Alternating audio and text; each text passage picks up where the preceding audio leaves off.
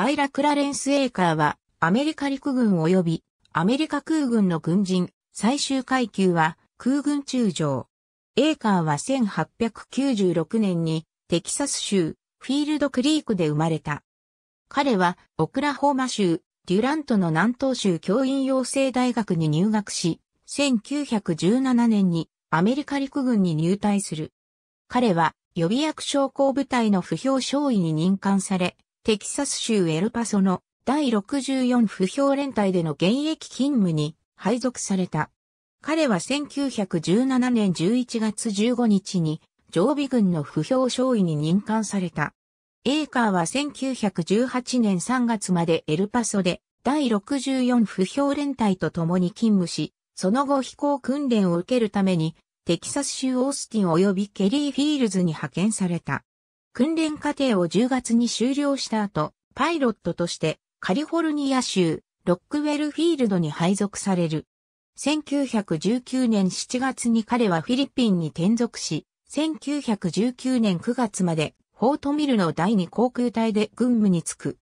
続いてキャンプストッセンバーグの第3航空隊で1920年9月まで勤務し、その後1921年9月まで航空部上級将校、フィリピン航空部副司令、マニラのフィリピン航空部司令として勤務した。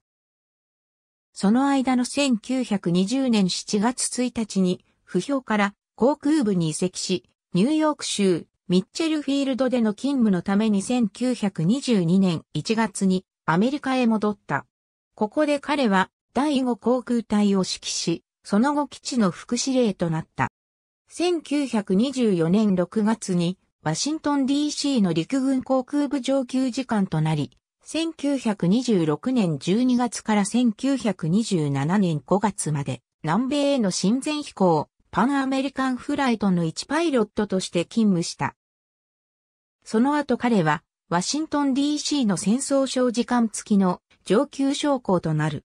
1926年9月に彼は、ワシントン DC のボーリングフィールドで作戦及び航路、整備士官に任命される。その任務の間に、陸軍のクエスチョンマーク5による対空飛行に機長として参加し、1929年1月1日から7日までロサンゼルス上空で飛行し、副操縦士のカール・スパーツと共に世界新記録を樹立した。エーカーとスパーツの両名はこの功績で空軍主君十字章を受章した。1930年に彼は初の大陸横断飛行を達成した。1934年10月にはカリフォルニア州マーチフィールドに転任し、第34追撃飛行中隊及び第17追撃飛行中隊を指揮した。1935年の夏に彼は海軍との任務を命じられ、空母歴シントンに上艦し、ハワイとグアムでの演習に参加した。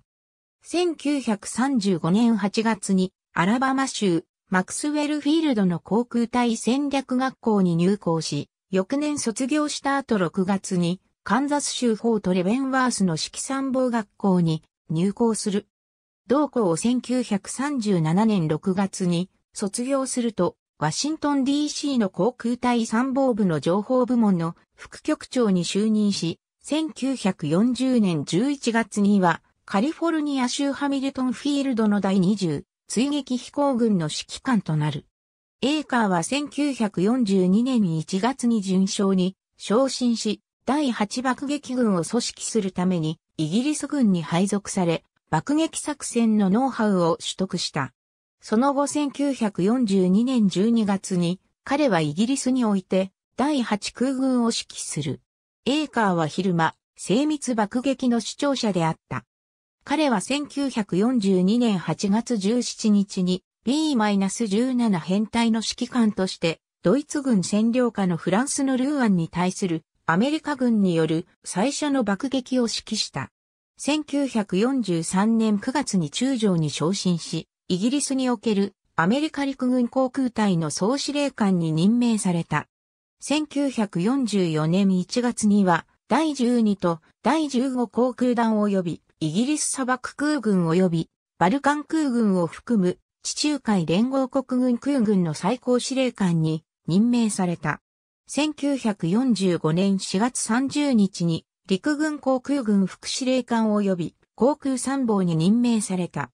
1947年8月31日に退役し、退役軍人名簿1948年6月29日付で中将に昇進した。その後エーカーはヒューズツール及びヒューズエアクラフト、ダグラスエアクラフトの副社長に就任する。1920年代初めにニューヨークに配属されたが、彼はコロンビア大学で法律を学んだ。1930年代の初めには、南カリフォルニア大学でジャーナリズムの学位を得ている。彼はヘンリー・アーノルドと共に This Flying Game、Winged Warfare、Army Flyer を著している。彼は1962年から軍事に関する週刊のコラムを執筆し、多くの新聞に掲載された。1970年にオハイオ州デートンの飛行殿堂入りをした。1978年10月10日にジミー・カーター大統領はエーカーの祖国防衛への貢献と飛行機開発への多大な寄与に感謝し、議会名誉黄金勲章を授与した。退役からおよそ30年後、上院議員、バリー・ゴールドウォーターによって提案され、ロナルド・レーガン大統領によって支持された、エーカー将軍に4つ星を与える特別法案を議会は可決した。1985年4月26日に空軍参謀総長、チャールズ・ガブリエルとエーカーの妻ルース・エーカーは、彼に4番目の星をピンで止めた。1987年8月6日、メリーランド州アンドルーズ空軍基地のマルコム・グロー医療センターで死去した。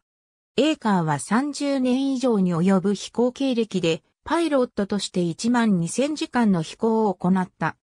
タブラエスビル空軍基地は1988年5月26日にエーカー空軍基地と改名されたが、1992年3月6日に閉鎖され、軍用から民間空港に転換された。